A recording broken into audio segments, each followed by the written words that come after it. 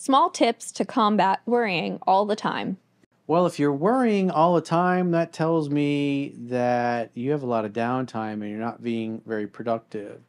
So, if you're not working, you should be working to develop yourself and your personal life, your social network, the things you do for fun, because it's through your social activities and your recreational activities, whether it's going to the gym or your country club or art fairs or Oktoberfest, beer and wine festivals, whatever you, rock climbing, motorcycles, guns, gun ranges. It's like you got to get out and lose yourself in your hobbies and your interests and things you love doing for fun. And when you're not doing that, you should also be focused on your mission and your purpose in life and trying to grow your reserve of knowledge, to develop your gifts, your skills, and your talents because you get paid based upon the value that you bring to the marketplace. So you always should be trying to improve yourself. And as you improve, as your reserve of knowledge grows, your skills and your talent grow because you take time to develop them, because repetition is the mother of skill. You can make more money and you learn, and especially as you get older and you get experience, if you're a business person, you become better at business and adjusting to pretty much any kind of market climate.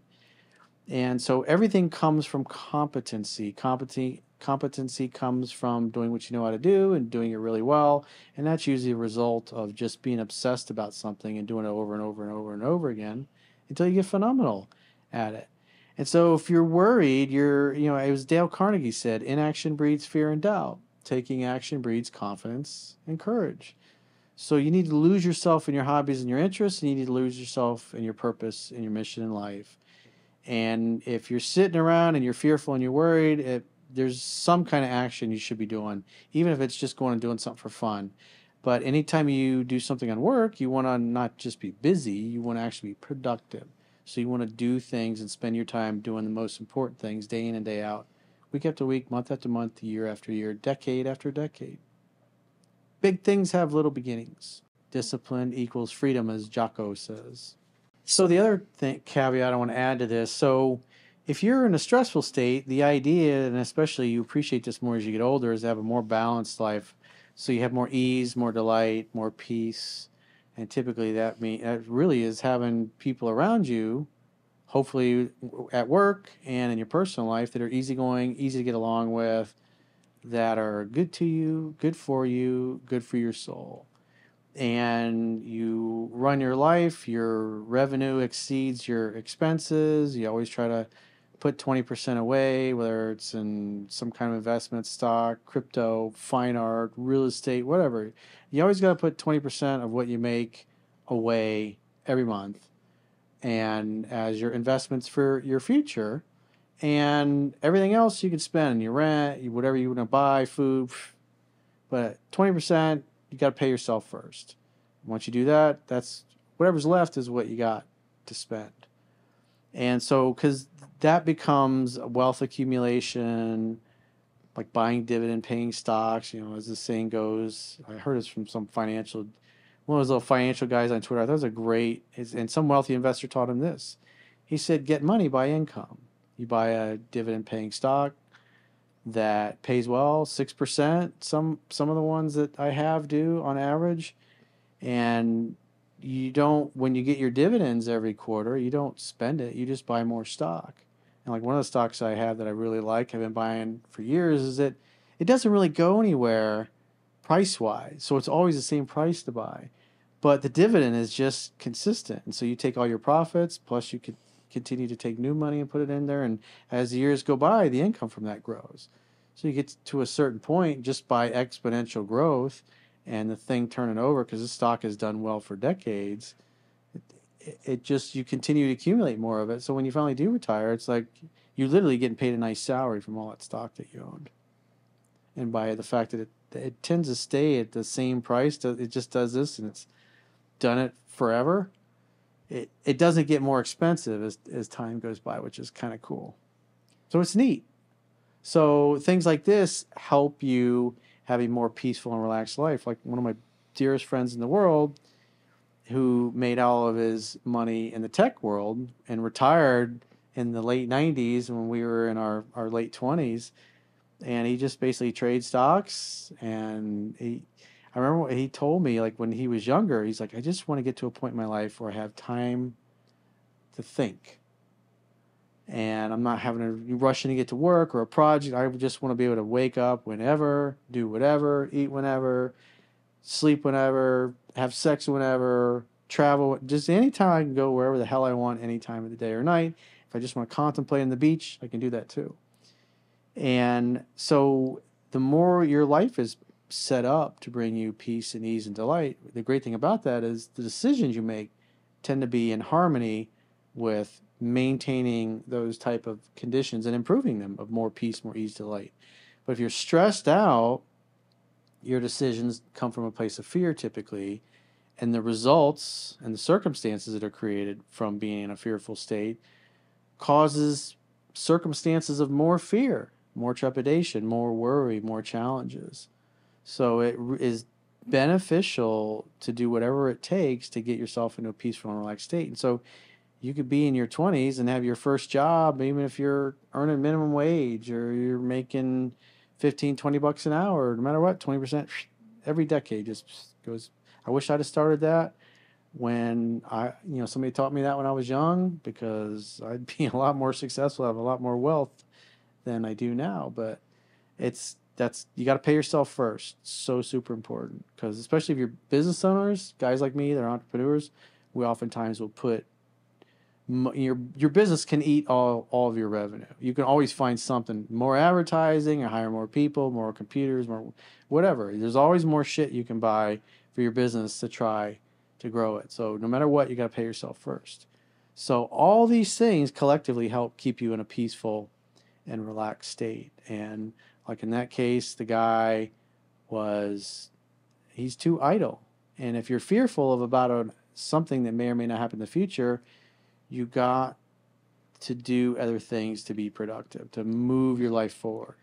Because if you sit around and you're afraid, any decisions you make when you're in that state are not ideal. They'll bring about more fearful conditions. So it's super important to be busy and to be productive because when you do that day in and day out, you're just t- every day like, what do I get done before I go to bed tonight? You do that all the time every time you go to bed, you're you're gonna have a clear mind. You're like, man, I crushed it today. I got everything done that needed to be done. I feel amazing, and that makes you feel confident. That makes you feel certain. Makes you feel peaceful. Makes you feel relaxed, and then you get up the next day, you feel good, a little less stressed because you got after it the day before, and it's a brand new day. The slate is wiped clean. Time to get after it once again. Control what you put in your mouth. If you're, I mean, anybody should be doing that because you want to stay fit, you want to stay in shape You got to exercise, you got to do your cardio, you got to do your weight training. You got to take care of the little things, little details. Repeated day in and day out is really the key to success in anything. I think also, um, if you're worrying about things all the time, um, what helps me is is putting things in order in a timely manner. Like try to organize the things in your life like make a list. Mm-hmm. and like corey was saying try to conquer those that day. But you maybe if you set times to do them then you can just like set goals set for yourself. goals. set small goals. So at least you know like this is what you have to do and try to push yourself. Because the more you put it off is the more worrying you're going to have to go through. Inaction breeds fear and doubt. So yeah. just make maybe make a list and go through it in a timely manner, and you know cross your stuff off, and then that always helps me with stuff. So you know you're not worrying about stuff you have to do tomorrow that you didn't do today. Also, you got to think about the this comes goes. I wrote about this in mastering yourself. Wrote about this in mastering yourself Aristotle said that um, people do more, in essence, to avoid pain than they'll do to gain pleasure. And the things we want in life, there's we it tends to be a big mountain that's kind of scary, and we're, we're full of fear. Especially if we were younger and we haven't had a lot of big successes or major successes, especially with things that take a decade or more. And you don't know what you you can you're capable of and and you're typically going to mentally be at the same place as most of the people in your life as far as what you believe you're personally capable of but everything it boils back down to discipline what you do day in and day out and I have days where like I don't feel like running. I have like this morning I was like a few minutes into my run and I'm going, man, I don't want to run right now. I have no this is not I not feel good. I don't want to be running. But I knew I would feel great after I got done with it. And my I have a streak going that's over what is it, twenty I started this back in like two thousand one, I think it was. I remember I was running one time on the treadmill and I was just thinking I was just tired. I was like I was gassed and I just stopped and then walked the rest of the time. And I was thinking that I wanted to, you know, back then I was running a full half hour. I've since reduced it and I only do 20 minutes at a time. I do like 6.3 miles an hour on the Woodway and uh, do like 2.2, 2.3 miles, I think is what it is in about 20 minutes. And um, I do it religiously. And so the streak is, is I made a decision that one time. It was like, no matter how bad I feel, like I feel like my lungs gonna come out, I'm just gonna finish the run no matter what. And so like, cause you're gonna have those days you get up and you don't feel like doing it, but I feel better after I run. My my videos are better. I feel brighter. I feel sharper. And when I don't run, I, I just feel it in my body. I my brain, I can it, it just feels a little more foggy. And so these are one of the things I think about is that what happens if, because this it goes to the pain or pleasure principle. What happens if I don't do what I know I need to do today? What happens if I don't run my two two miles? Well, I'm not going to be as mentally sharp. My videos aren't going to be as good. They're not going to get as many views, and since they don't get as many views, I don't sell as many books. I don't get as many phone sessions. I don't get as much ad revenue. I don't sell as many mugs and T-shirts or whatever it happens to be. And so you always got to think in terms of what's the downside. What if I'm late? What if I choose just to be a lazy ass and not get off the couch or go to the gym? What pain is this going to cause me now, six months, five years, 10 years? What's what if I keep doing this 20 years out? What am I going to miss out on? And you're like, those typically aren't pleasant consequences to think about it.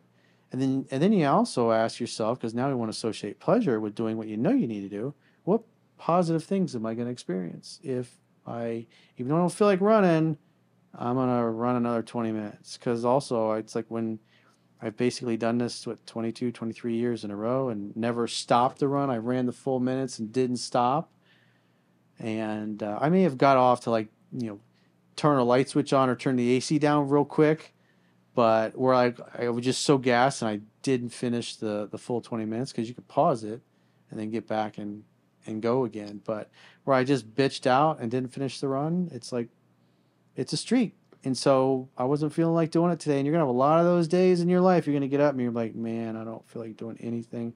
I don't feel like going to the gym. It's cold out. My car's not driving properly. It's not running right. It's like, oh. But what do I got to get done today? What pain am I going to experience if I don't do what I know I need to do?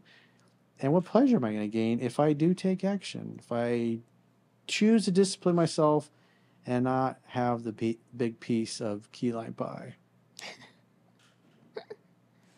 Got to be disciplined. As Jocko says, discipline equals freedom. And that's what it means. Choose to do the things you need to do. You're going to experience pain if you don't. That's way worse. But you'll also experience great pleasure if you do take action. And what is that pleasure? And that helps you use the psychology to do the little things and overcome the fears that you have, like that the questioner was asking. Because it's a battle every day. Every day's a new day. There's new challenges. I woke up yesterday and three of my email addresses was not working. And the way to fix it is to delete one of them, which has like 70,000 emails in it. And that's when you do that. And then you re add it. It's got to download all those and it takes hours. And you can't even find your new email. It's like, so you have to log into a portal online. It's just things like that are aggravating because it takes time. It's unproductive time, but those, those are the pressure points in life. The life is always throwing shit at you that you didn't expect. It's how you deal with it and the meanings that you give it that really determine and shape your destiny and your trajectory.